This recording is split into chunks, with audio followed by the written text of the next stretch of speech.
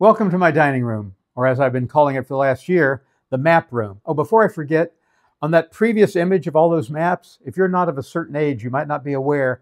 It used to be that if you went to any gas station, anywhere in the United States, service station, uh, they would give you for free a map of all the roads in that state to help you navigate because there really weren't any electronic resources back then to get from town to town or from state to state. So that's what that picture was a bunch of those old maps uh, given out by gas stations to help you navigate.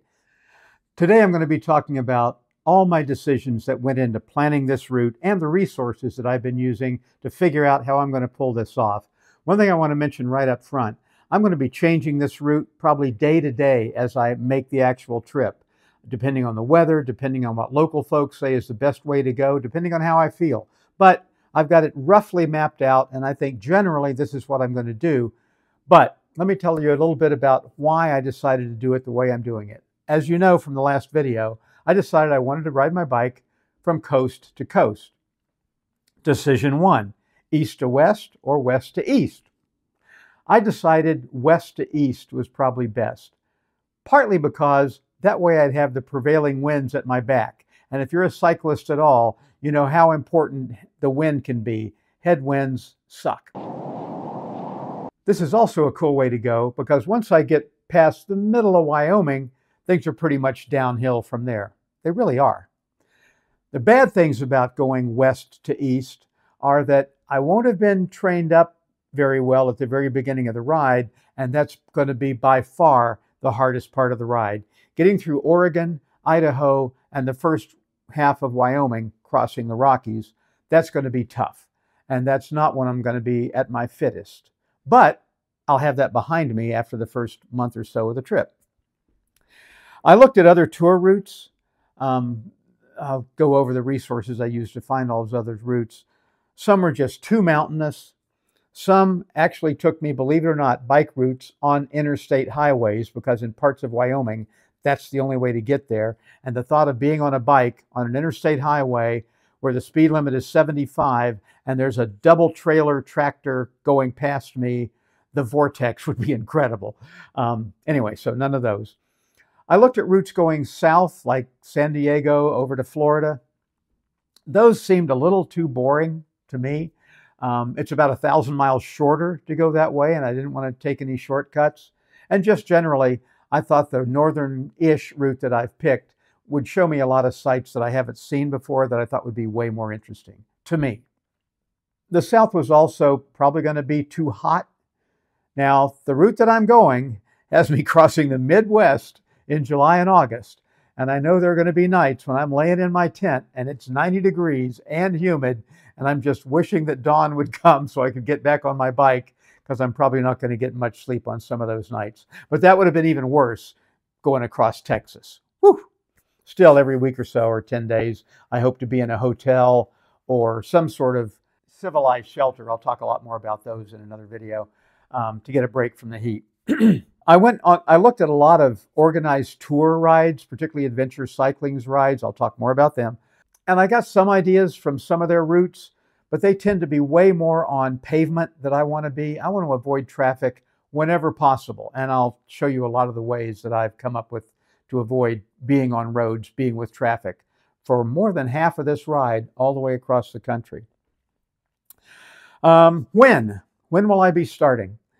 I looked at a lot of meteorological sites once I had a route roughly picked out and decided that I don't want to be going across the Rockies when there's much of a likelihood of snow.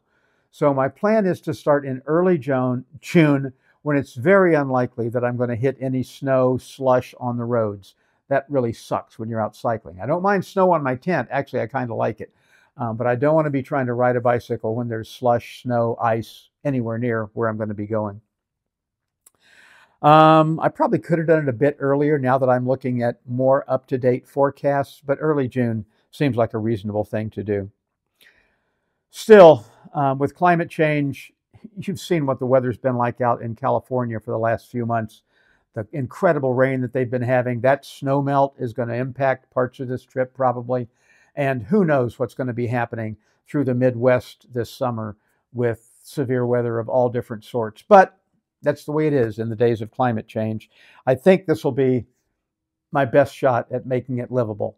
Uh, I've got a little experience in biking and living in such climates. I lived in Phoenix for three years, loved cycling in Phoenix, and got used to cycling when it's 100 degrees.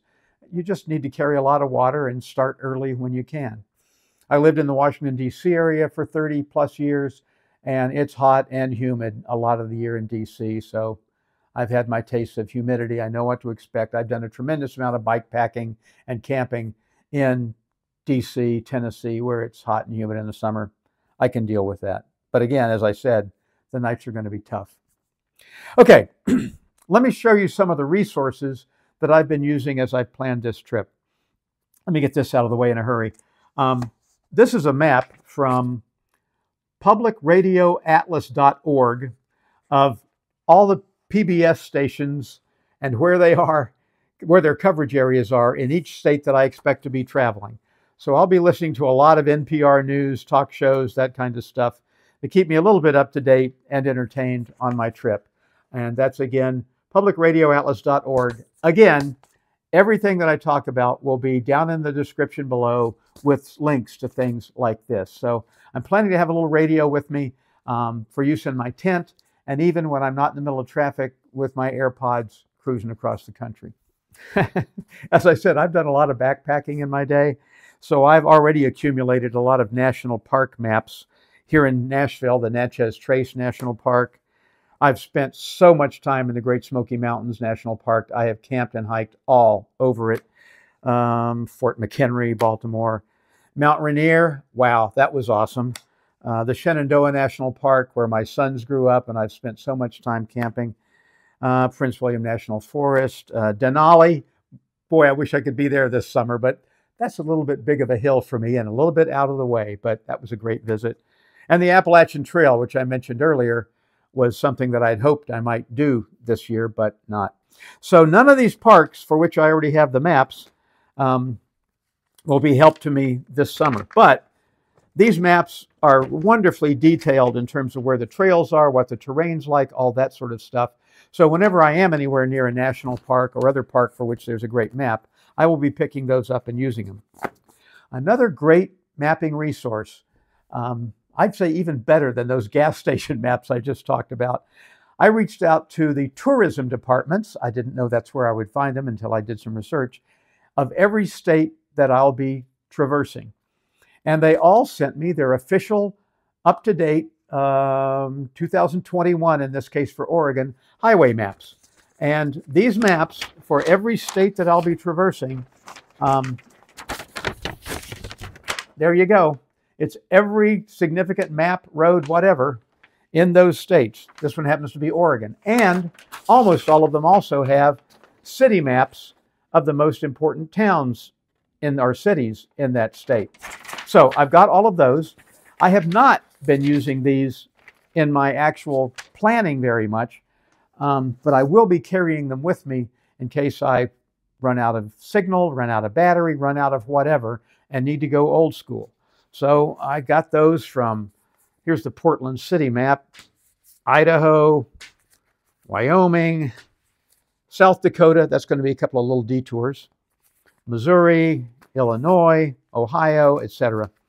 Um, before I forget it, the reason I mentioned a slight detour to South Dakota, I'm going to be heading across Nebraska, and I've got a couple of detours planned. One, I've never been to Yellowstone. There's a national park map to pick up. So I'm going to spend a couple days going up off trail into Yellowstone to see that for my first time. I've heard it can be really hard biking because of all the traffic, but I really want to see a bit of Yellowstone. And also, um, I read a book a long time ago called Bury My Heart at Wounded Knee about the Native Americans and their plight, and especially about the battle at Wounded Knee. So I want to take a little detour up into South Dakota to visit, to visit that site, and I hope camp one night there and then get back on the trail. But that's a little bit more South Dakota. Um, also, as I've been online looking at every state, Many states have actual bike trail maps. This is the one for Illinois. The sad news is Illinois' routes go north-south or they're up around Chicago, Chicago, And I'll be going east west or west east down here. There ain't nothing. Um, so I'll be going roads down there. But it's useful to have these state by state bike trails, if for nothing else, to know I'm not looking for something that's not there. There just aren't any bike trails going west, east in southern Illinois. Um, there's a thing called the East Coast Greenway, which goes all the way from Maine down to, I think, Florida. There'll be one little stretch of that that I'll be on from um, up near DC through Richmond, where my son Daniel lives, and then down all the way to Virginia Beach, where I hope to dip my tire in the Atlantic Ocean at the end of the trip. Yeehaw! Um, but the East Coast Greenway uh, is also a cool resource and has some really neat routes that I didn't realize were there in the Tidewater area of Virginia. So I'm looking forward to that. Again, links down below to all this stuff. When I get to Ohio, they have got a really cool bike path all mapped out called the Ohio to Erie Trail, which starts in Cincinnati on the Ohio River and goes all the way up to Lake Erie near Cleveland or in Cleveland. I'll be taking that almost all the way across Ohio and it avoids almost all the roads. It's almost all bike trails, not pavement. I'm really excited about that. I've talked to some friends that have done it. I've seen a lot of YouTube videos of people doing it. This is going to be a great way to get across Ohio. I've lived in Youngstown, Cleveland, Columbus, and so spent a lot of time in Ohio. So I'm really looking forward to seeing some old places, seeing some old friends, and using this to get across Ohio. Once I get up around Massillon, I'll be leaving the Ohio to Erie Trail and going pretty much straight east over to Pittsburgh to kick, catch the Allegheny Gap Trail, and that'll be kind of the mapping and exploring that I've been talking about otherwise. One of the resources that is just going to be so wonderful is Rails to Trails. What? Well, since about 1960, there's been a movement afoot to convert old railroad beds into multi use flat trails for walking, hiking, and biking. And let me get these numbers right. There are now over 25,000 miles in the U.S. with over 2,000 trails of converted railroads into multi use trails for things like biking. I'm going to be using the heck out of those. Um, and there's also a few other things that are close to that, like the C&O Canal Trail that I'll be doing, the Chesapeake and Ohio Canal Trail that went from the Ohio River to the Chesapeake Bay. Um, and that old canal footpath has now been converted to a bikeway, which I've heard can be pretty sloppy at some times, but it seems like the best way to go. And again, avoiding traffic. That's kind of like Rails to Trails, but something similar. Rails to Trails is now a nonprofit organization. Join, donate. I do. Um, they even have a magazine that talks about all the latest developments in converting Rails to Trails, and it's really neat. Um, Trails Day was April 23rd of this year.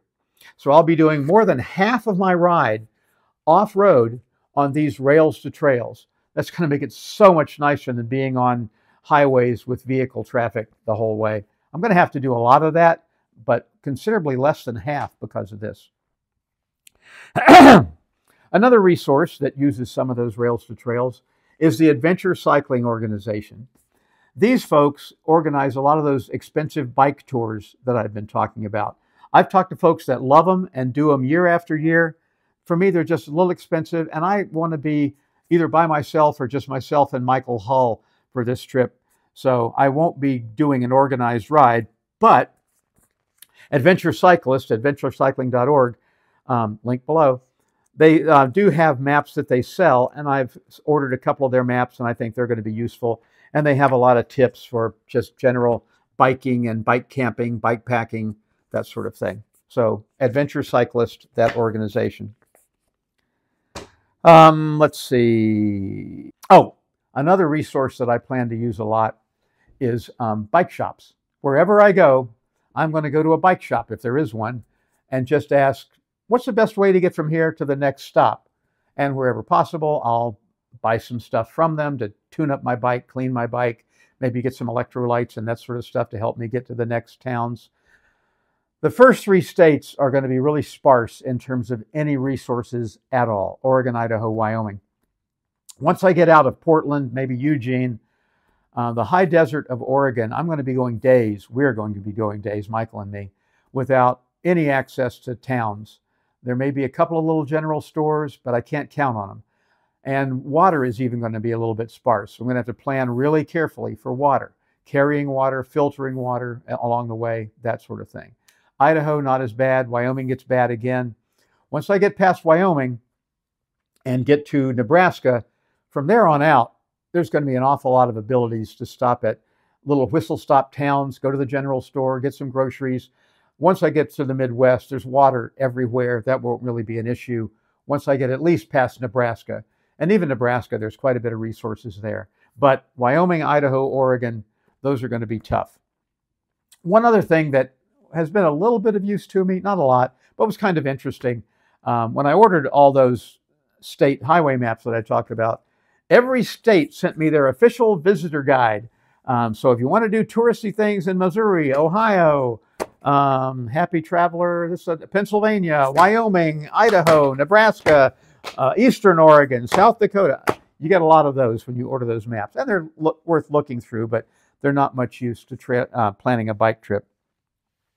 Um, the other resource that I want to use, if you'd be so kind, if you have any ideas about trails I should be taking, resources I should be stopping at along the way, I'll be talking about a thing called warm showers, which is something I expect to use to get out of the weather every now and then. But if you have any ideas, please make comments below. I will read every bit of that, respond to you. I'd really appreciate any help that you might offer in that regard. Okay, that's everything I had to say about all the resources that I've come up with in terms of mail, print materials, that sort of stuff. Now let's move on to everything that I've been doing with online websites and other technology to plan the trip. Here we go. First, an app called Ride with GPS. This is what it looks like when I'm sitting in my bike saddle looking down at it, but that's not how I'll be planning the ride. Now I've opened the app and I want to use it to take me on a bike ride from the Dairy Queen in Portland, Tennessee, all the way up to Auburn, Kentucky. So I type in Dairy Queen, Portland, Tennessee, and click on it. And there it is. So I click on it, and it'll put a little pin right where that Dairy Queen is. I say Start Route, and now I will decide how I want to get across town. So I'll click on the individual streets that I want it to take me on, turn by turn, until I'm through this little part of town and I can change, edit any of this that I might want. And once I'm through this part of town, all the way up there to Russell Street, now I'll just type in Auburn, Kentucky, and I'll let it figure out the rest of the way to go from there. So I type in Auburn, and there's Kentucky, so I'll click on that, and it automatically route to there, takes me there. So there's 32 miles automatically laid in. This is one of my favorite places to ride, so I know this is basically the route I do want to take. But I'd tweak it a little bit, and I can see that it's not put me on most of the major roads. This is a good way to get from Portland, Tennessee up to Auburn, Kentucky using Ride with GPS to get me there. Once I've created my ride, downloaded it to my phone, then I just hit navigate when I'm ready to start pedaling, and it gives me turn by turn directions all the way to my destination. When I'm done, I hit record, record ride, it saves it, and then if I want, I can call it up and look at it later to see how I've done, forward it to somebody else, post it on social media, whatever. Let's say that somebody's crazy enough to do something a little more extreme, maybe riding all the way from the Pacific Ocean. Here's the beach where I'm expecting to start, right outside Florence, Oregon. And now all the way over to, let's enter Virginia Beach, Virginia. And let it calculate a route all the way across country. Here we are at the other ocean, and here's our route now. Let's zoom out and take a look at the whole thing. Here's the way it wants me to go, including all the elevation profiles and everything else. Of course, this is not the route I'm going to take. It's not a bad route, but it's certainly not what I'm going to do. But it'll give you an idea of how you can go from a local route all the way to cross country using Ride with GPS the most important tool or program that I'll be using on this ride, but there are a lot of other resources. Let me touch on a few of those briefly. Here, for instance, is the Adventure Cycling Association. They have routes all over the country that they use for their organized bike tours. Uh, and also, those routes are available for purchase by people like me as very detailed maps explaining resources and that sort of thing. Sadly, they don't cover most of the route that I want to take on this trip. They've been curating their own coast to coast route for quite some years. Here's an image of that. Here's another app that I've been using quite a bit. It's called Komoot. And it's quite a bit like Ride with GPS in that you just give it a starting point and a finish point, and it will automatically prepare a route for you, which you can then adjust more to your liking after the fact. It's used worldwide, probably more than in the US. It's like Ride with GPS in that the more a particular little piece of a route has been taken, the more likely it is to be recommended to you. These are called heat maps. It's a little bit different than Ride with GPS in that it has a lot of points of interests like campsites and restaurants and general stores, which can really help you out along the way. And it has reviews of those. So I've been using Komoot quite a bit to help plan this ride. For instance, I asked it to help me find a water source near but not in Bend, Oregon, and it immediately popped up Sandy Point Beach and says that it is recommended by three out of three road cyclists. And with a click, it will make a slight detour from my route to take me right to Sandy Point Beach.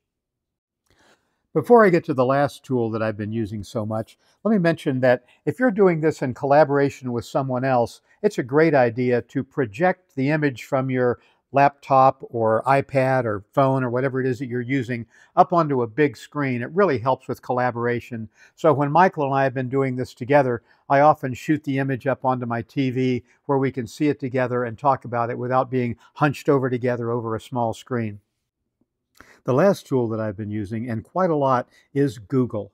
And that goes all the way from the regular Google Maps that we're all familiar with for figuring out how to get to the grocery store to the satellite map, which you see here of that local bike ride that I was doing up in Portland, Tennessee, and also Google Streets, which allows me to look right down at ground level on whatever street I'm thinking about routing our bike path on. Uh, it's great anytime we're in a place that's civilized enough to have Google Streets. Of course, I hope that we're going to be off road enough that we are going to be in a lot of areas where we won't have this available. It's been quite a handicap not having it available as I've been trying to figure out how to best get us across the Oregon high desert. Here's a great example of how useful Google can be. When I was trying to plan a route from the Pacific Ocean over to Eugene, Oregon, I noticed that there was almost no way to get around this tunnel. So I went to Google Street View to see how bad it would be. Is there a bike lane through the tunnel? Well, it turns out it's pretty scary, and I'm not sure how I'm going to get around it.